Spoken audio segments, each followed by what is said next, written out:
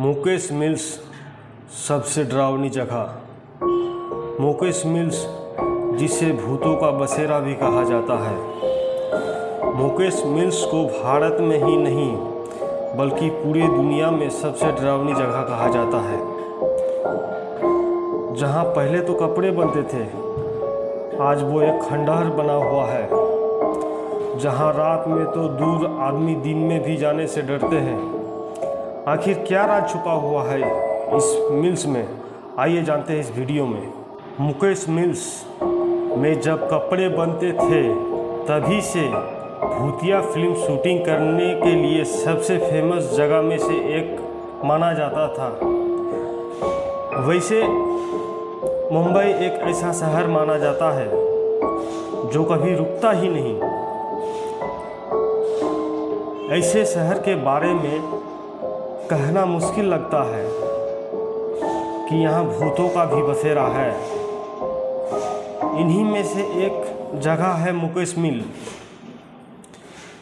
ये मिल्स लगभग एक साल पुरानी है।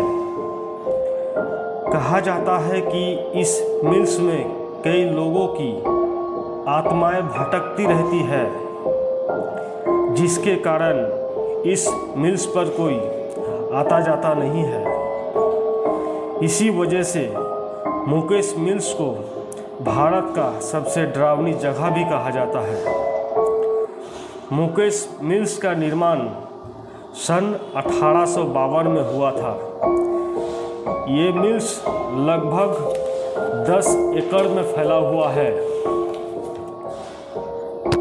पहले यहाँ पर बहुत बड़े मात्रा में कपड़े बनते थे। फिर एक दिन 1970 में शॉर्ट सर्किट होने के कारण मिल्स पूरी तरह से झुलस गया।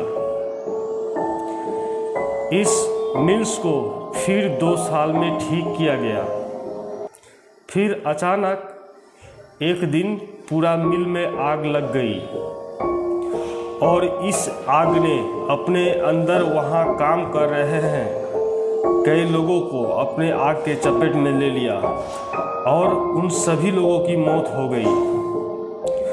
उसके बाद मुकेश मिल्स एक खंडहर में तब्दील हो गया। फिर समय बीतता रहा।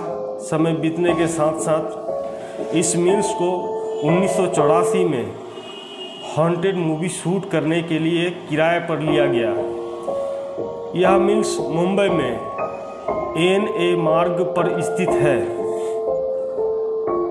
और सबसे अजीब एक बात और भी है।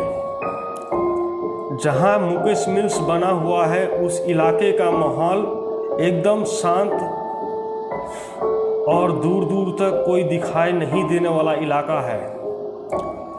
यह मिल्स भूतिया फ़िल्म शूटिंग के लिए एक शानदार जगह माना जाता है। और अब तक कई भूतिया फ़िल्म भी बन चुकी है मुकेश मिल्स पर। लेकिन आज भी कई फिल्मकार मुकेश मिल्स जाने से डरते हैं। इन्हें डर है कि कहीं उसे कोई आत्मा नुकसान ना पहुँचा दे। मुकेश मिल्स में शूटिंग करते हुए निर्देशक रेंसिल डिसिल्वा ने बताया, मिल्स के अंदर एक चमनी है और उसी चमनी के पास एक पीपल का पेड़ भी है। कहते हैं, इस पेड़ पर भूतों का निवास है। मुकेश मिल्स में शूटिंग करते हुए लोगों का ऐसा बहुत बार दावा किया गया है कि यह भूतिया जगह है। इस बारे में कहना मुश्किल है कि दावे में बताए गए बात कितनी हकीकत है और कितनी अफवाहें हैं। लोगों को यहाँ भूतों का होने का एहसास होता है। कहा जाता है, किसी भूतिया फ़िल्म की शूटिंग के दौरान लड़की को भूत ने पकड़ लिया। और वह लड़की डरावनी लगने लगी। इतनी डरावनी लगने लगी कि फ़िल्म में जो लड़की दिखाना था, उससे ज़्यादा डरावनी लगने लगी। तो फ़िल्म की यूनिट वालों ने उसके जब चेहरा देखा तो उनके भी रोंगटे खड़े हो गए और वो लड़की भूतिया फ़िल्म से भी ज़्यादा डरावनी लगने लगी। सात साल पहले आए फ़िल्म, बदलापुर। जो कि 2015 में शूटिंग हुआ था। वो मूवीज़ का कुछ सीन्स मुकेश मिल्स में शूटिंग हुआ था।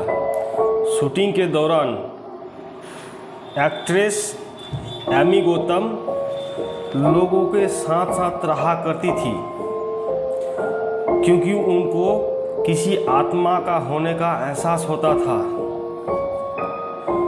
कुछ दिनों बाद फ़िल्म की टीम में से एक लड़की अजीबो गरीब हरकतें करने लगी और उसके बाद व्यवहार में मर्दाना स्वभाव दिखने लगा।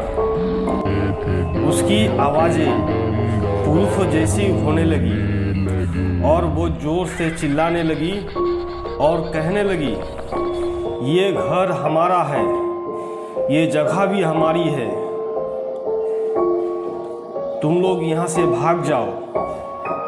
इसके बाद लड़की को हॉस्पिटल में एडमिट कराया गया। लेकिन उस लड़की का हालात में कोई सुधार नहीं हुआ और कुछ दिन बाद उस लड़की की मौत हो गई। बॉलीवुड के अन्य अभिनेता जैसे बिपाशा बासु और इमरान हाशमी के साथ भी कई भूतिया घटनाएँ घट चुकी है। और आज कोई भी बॉलीवुड एक्टर्स मुकेश मिल्स में शूटिंग करने से डरते हैं। मुकेश मिल्स को देखते ही मन में अचानक डर बैठने लगता है और दिल वहाँ से दूर भागने का करता है। इसी वजह से मुकेश मिल्स को टॉप मोस्ट हॉन्टेड प्लेस भी कहा जाता है। वीडियो अच्छा लगे तो दोस्तों में शेयर करें वीडियो को लाइक करें और चैनल को भी सब्सक्राइब करें। तब तक दीजिए इजाज़त। मिलते हैं अगला इसी तरह का एक गजब का टॉपिक लेकर। Bye bye